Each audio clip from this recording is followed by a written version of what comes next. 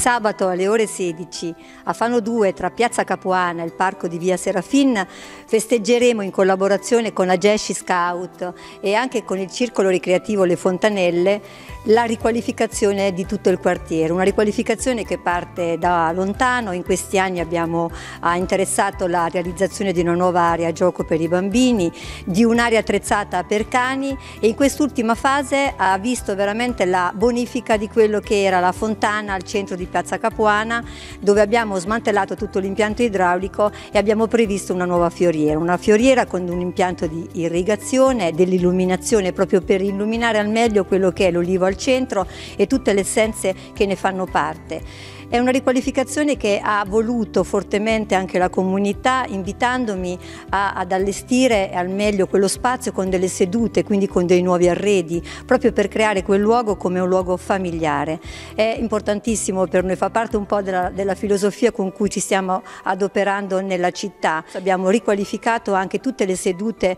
sul parco appunto limitrofe dove, abbiamo, oh, dove gli stessi ragazzi degli scout hanno provveduto aiuto a metterci del colore e sicuramente a trasformarlo in un veicolo di pace, un bellissimo messaggio per tutta la comunità.